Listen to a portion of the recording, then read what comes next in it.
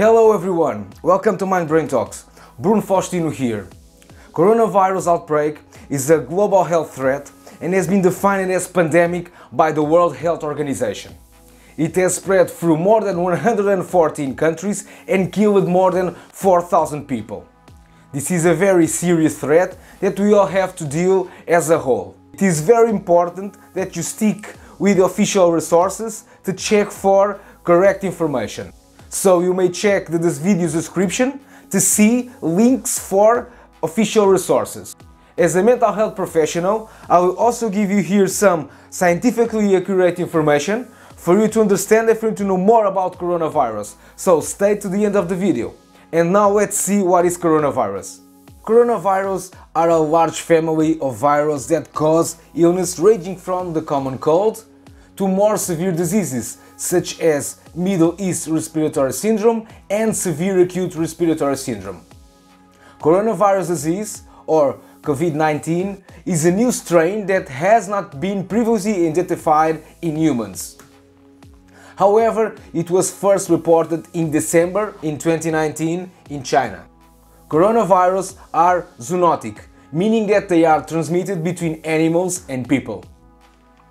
Detailed investigations found that SARS was transmitted by civet cats to humans and MERS from dromedary camels to humans. Several known coronavirus are circulating in animals that have not yet infected humans.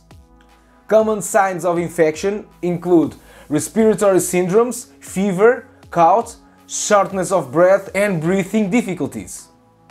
Also, in more severe cases, infection can cause pneumonia, severe acute respiratory syndrome, kidney failure and even death. So it is very important that you protect yourself and others.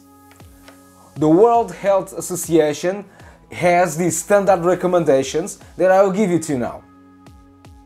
Standard recommendations to prevent infection spread include regular hand washing, covering mouth and nose when coughing and sneezing, and even when you're cooking. Avoid close contact with anyone who's showing symptoms of respiratory illness such as sneezing and coughing. So, this is a map from World Health Association where you can find all countries and areas and all the known cases to the moment. So if you want to check it, please see the video description below. Well, it's all for today. Don't forget to see the video description to see the links for the official sources. Also, don't forget to like and subscribe to support the channel. Follow your local health policy and protect yourself. Stay safe.